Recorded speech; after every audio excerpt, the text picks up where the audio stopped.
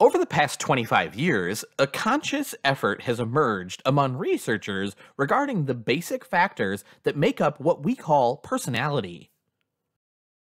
These factors, commonly called the Big Five personality factors, are neuroticism, extroversion, openness, agreeableness, and conscientiousness.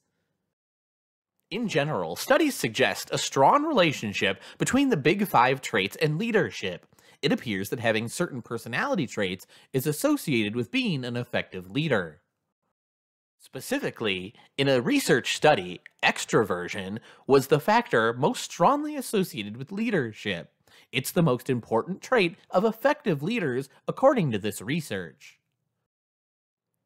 The last factor, agreeableness, was found only weakly associated with leadership. Again, research pointing to agreeableness not necessarily being an important personality trait of leaders.